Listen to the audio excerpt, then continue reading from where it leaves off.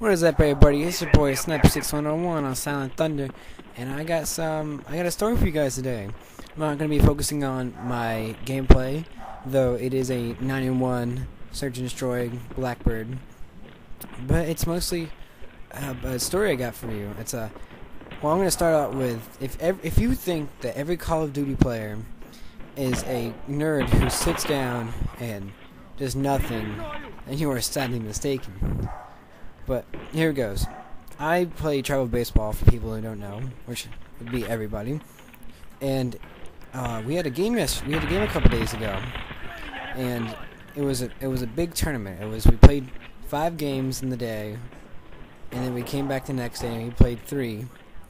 But in the in the five days we played, in the first one of the games we played, I pitched, and I'm not a great pitcher. I, I for, for anyone who's familiar with familiar with baseball, I can throw very fast. I, am a closer, but I have no control over where I pitch. And I threw one to this kid. I was up in it, uh, almost. Uh, it did hit him in. The, it skimmed his arm, but he fell over, and he was like, "Oh, it hurts, it hurts." I'm like, "I barely hit you. I'm sorry that I hit you though." But a pitcher's not supposed to show emotion, so he walks away. And the next day, it comes out that we're gonna play them for a championship game and I'm not pitching that game because I suck at pitching. I'm on first. So what happens? One of one of his teammates comes out, and he hits it to the he hits the shortstop.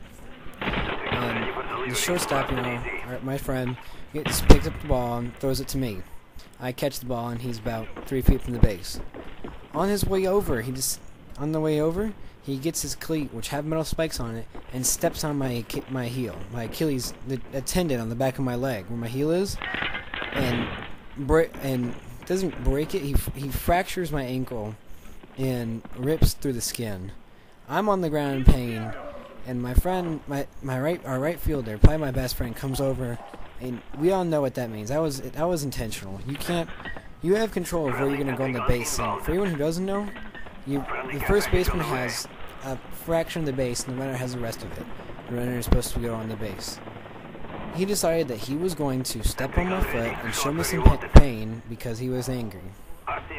Now, our right fielder, my friend goes up to him and goes, you know, what the hell, man? What the fuck are you trying to do? And he goes, I didn't do anything. You shouldn't have hit And he looks at me and goes, you shouldn't have hit my friend. And that's when, that's when all hell breaks loose. Our right fielder tackles this guy and takes him to the ground. I'm I'm on the ground because I can't walk, and our the rest of our bench, people sitting on our bench, which our backup catcher and our couple pitchers, run out in the field. Everyone on our field is like, "What the? What's going on? I don't know what to do," and they all run out in our field, and we start pushing each other. And these two, my best friend, our right fielder, and these guys are just on the ground fighting. And, uh, and one of them, one of our their guys in their teams has to break, break them apart. And I think one of our guys was like, "Oh, he's trying to go beat him up. So this guy jumps in and he punches another guy in the throat. I think he was trying to aim for his face, but he got him in the throat. And so another guy jumps in, another guy. And another, their bench comes out, and everyone, every player in the field right now is on, and we're pushing each other, and we're, and fists are thrown, and people are ejected, and parents are on the field, and everything. And it's freaking amazing. It's, it's something that you don't see a lot from our age. It was amazing. I mean, I, it's what good friends would do, even baseball. That's not that's not supposed to happen. I'm I'm at home now. I can't play for a week. Or I can't play for two weeks. I, you know, what else, what can I say really? It was a bad move on his part, and I'm very glad I had friends stick up for me. But back to the story. Our my our, once they got us all settled down, they they set us on the field and they stopped the game, and they canceled. They then they called it and they said that we that the other team won because the because our right fielder stopped stopped started the fight apparently, which we thought was crap because we lost. But I, it comes it comes down to and then this is my favorite my favorite part. We have this guy on our team, short, chubby man. He is our pitching coach. He looks a lot, he looks a lot like Santa. He's a professor, and his job is to basically just keep people's heads cool. So, and he comes out and goes, you know, sir, that's that's not fair, sir. I mean, you should at least let us continue the game. And umpire goes, no, no, you can't. You're not going to do that.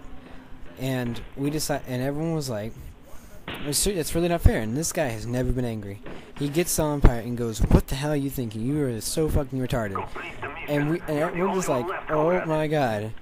A the nicest person we know just cursed off the umpire, and he gets thrown out of the game. And he is, if you, if everyone who's not familiar with getting thrown out of the game, it's you have to leave the park, which is the whole the whole park, and you are not allowed to enter the park. It's like an, it's like for anyone who gets thrown out of a building. If you enter the building, they can't call the police, and it's pretty serious. It's but it's just too it's too funny because you know what are you gonna do?